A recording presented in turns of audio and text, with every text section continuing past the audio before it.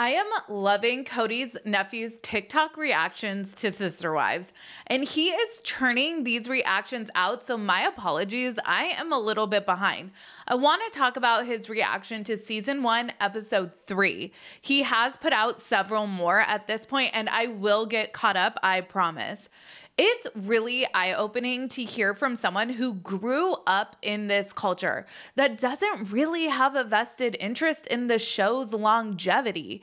He certainly doesn't need to worry about portraying Robyn in this angelic light in order to remain in Kody's good graces. Ben points out dare I say, he exposes this manipulation tactic of Robyn's from season one, episode three, and we have to talk about it. Let's get into today's video.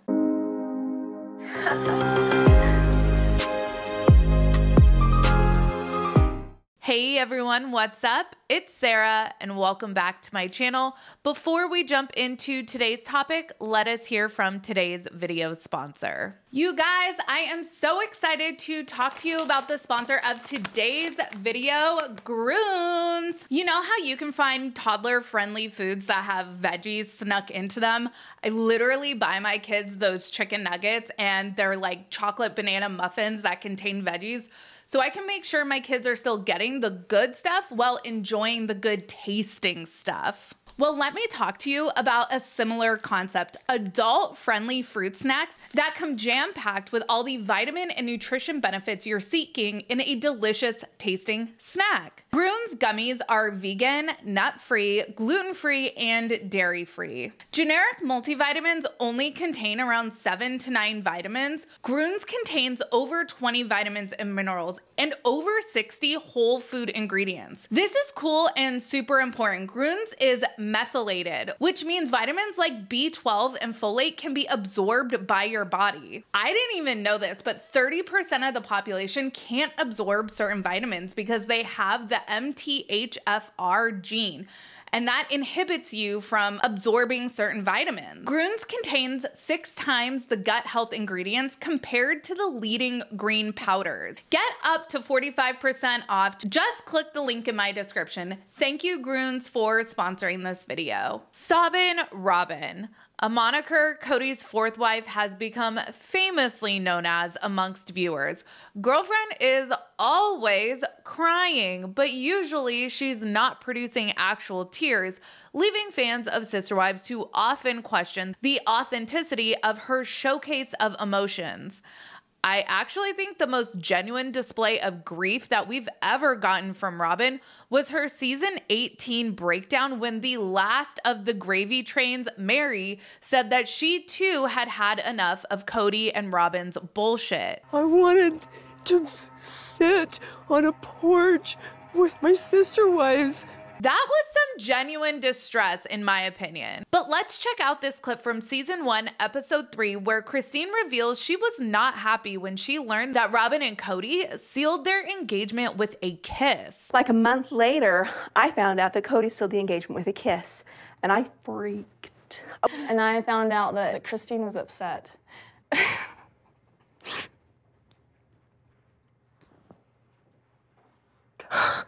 I knew it would be complicated. I didn't know it would break my heart as well. Kody's nephew Ben had some thoughts on this moment. And the thing about the kiss that was really weird to me actually was the conversation because Robyn's talking about how she hurt Christine, and Christine is fine, and Robyn is crying. And that sort of felt really uncomfortably familiar to me.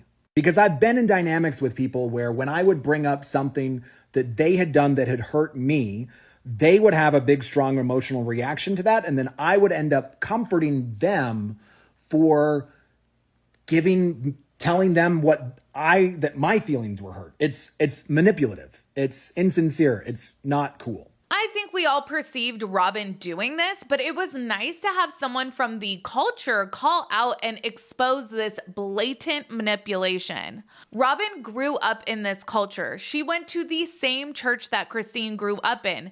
She knew that the standard was that married men don't go making out with their potential additional wives. There's not a lot that I get about polygamy, but this actually makes sense to me Kody says in one of these early episodes that one of the reasons why polygamists have short courtships is because plural wives are okay with other wives. They are not okay with girlfriends.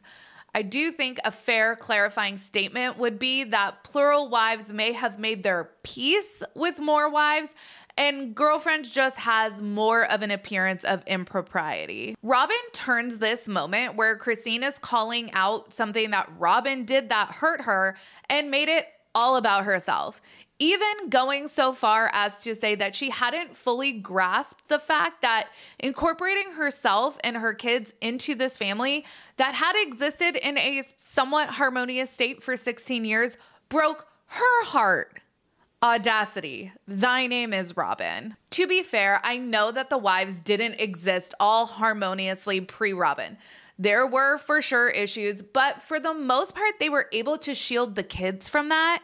The kids all speak very fondly of living all together in the Lehi house, even though we know that Meri would bitch about people traipsing through her living room. But I appreciate that Ben calls this out and that it's a familiar experience that he has had. I can't get over how Kody is staring at Robyn in this scene like she is a wounded bird that Christine just ran over with her car.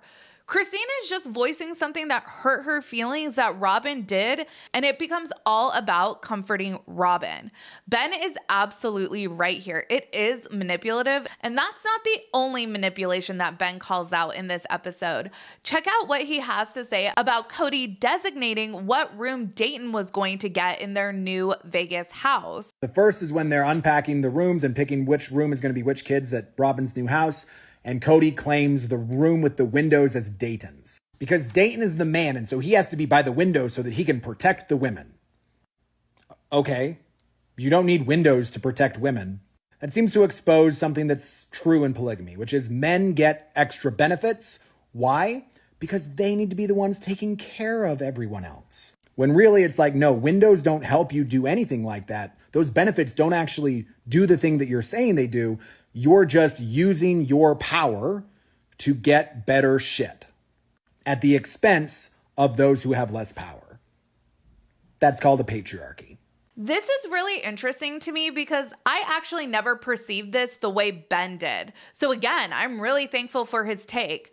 I always thought that this was messed up. Like, Dayton has to be the man of the house at what, like 13 or 14 years old? Because None of these kids have a reliable father figure in their lives. But Ben is explaining that men would often manipulate situations as looking like they need X, Y, and Z thing that is better than what a woman was getting under the guise of needing it because they are the man and the protector.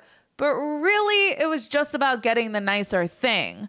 So maybe in this instance, Kody's knee jerk reaction is that in this house filled with girls, Dayton should obviously get what he perceives as the best room. Kody and Robyn really are two peas in a pod when it comes to their covert and actually oftentimes overt manipulation tactics that they perpetrate on their family members in order to make sure they always come out number one. Let me know your take on what Ben had to say about Robyn and Kody's manipulation tactics from season one, episode three.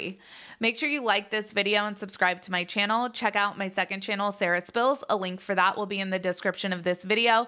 Follow me on Instagram, Threads, and X at Realitea Squad, and I will catch you guys in the next video. Take care. Have a good one. Much love.